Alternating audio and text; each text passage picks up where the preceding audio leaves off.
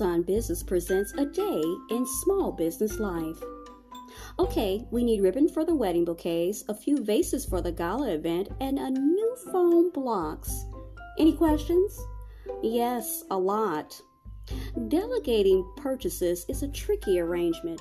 Now, Finn's Flowers uses guided buying from Amazon Business Prime to turn procurement rules into clear visual signposts, giving Finn time to stop and smell the roses. Let's try again. Any questions? Nope. Guided buying that helps business bloom? That's smart business buying. Learn more at AmazonBusiness.com.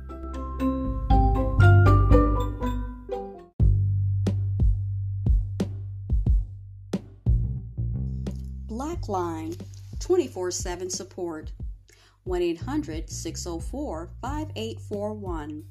1 800 604 5841. Blackline provides a space for peer support, counseling, witnessing, and affirming the lived experiences to individuals who are mostly impacted by systemic oppression. This source is divested from the police. Blackline 24 7.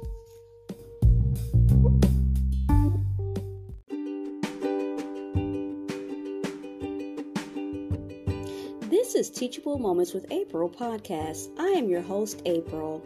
If you're a returning listener, I appreciate you and welcome back. If you're a new listener, welcome and thank you.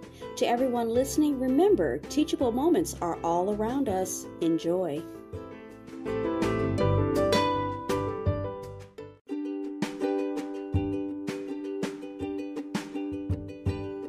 Dear Lord, I pray that your spirit would move in the body of believers and non believers. Make us people of prayer in these days. Lord, may we be on our knees at home praying for your will to be done. May we be praying in our workplaces and in our leisure. May we be praying for our neighbors, our families, and our kids. Lord, put an urgency in our hearts for prayer. For prayer isn't the preparation for the battle, prayer is the battle. In Jesus' name, amen.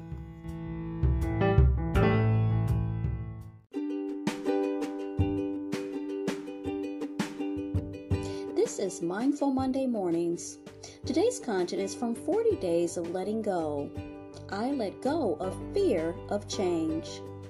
We look at the book of Philippians 4:13. I can do all things through him who strengthens me. Today's devotional was written by Reverend Dr. Norma Iris Rosario. When facing change, many of us experience fear. That fear may be due to the uncertainty of what might happen, to the perception that we lack the tools to face it, or most of all, to our attachment to what is familiar. While letting go is difficult, the truth is is that change is the only permanence in our lives. From birth, we change. We leave our mother's womb and enter a different world. Later, we let go of the safety of our home to attend school. We grow as freedom loving adolescents. As we become adults, we may feel overwhelmed by the fear of change.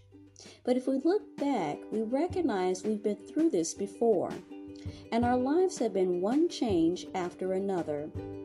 With the experience and knowledge we have acquired, we have the necessary strength and courage to face another change.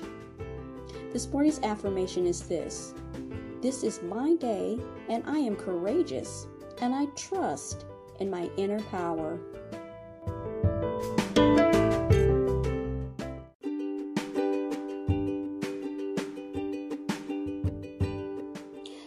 Thirty-three things the Holy Spirit does.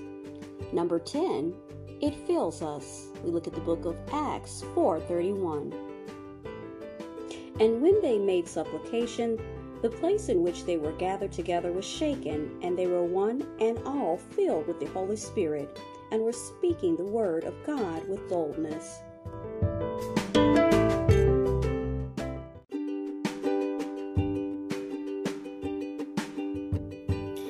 Is Mindful Monday Mornings. I want to personally invite you to come back at 8 a.m. and 10 a.m. as I read two devotionals from Our Daily Bread Always Trustworthy and An Anchor When We're Afraid. I hope to see you there.